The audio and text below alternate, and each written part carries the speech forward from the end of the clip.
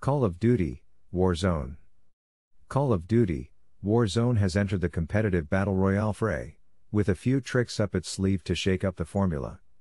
Based on Modern Warfare's 2019 reboot, Warzone introduces unique battle royale elements, such as loadout kits and respawn matches, that separate it from the competition and greatly impact how the game plays.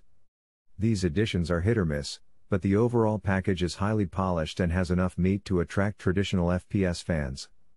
Fortnite Fortnite is yet another game capitalizing on the popularity of the Battle Royale genre, but that doesn't mean that the title is without merit.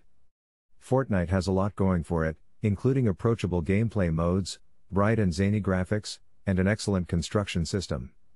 Iffy combat and the presence of microtransactions detract from the experience, but as Fortnite is a free to play game, fans of PUBG and other titles in the genre should still give it a shot.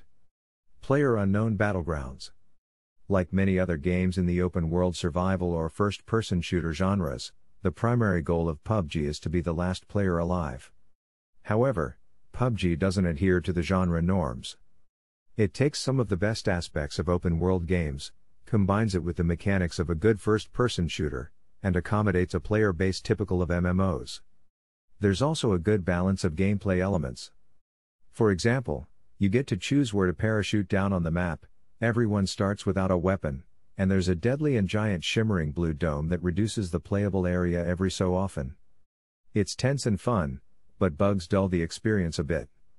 Spellbreak The free to play Spellbreak isn't your typical battle royale game, and many of its standout features are due to its fantasy setting.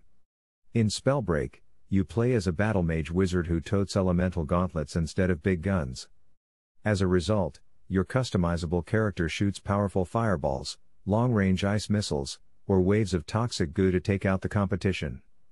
The game doesn't rely on pinpoint shooting accuracy, so it's accessible, too.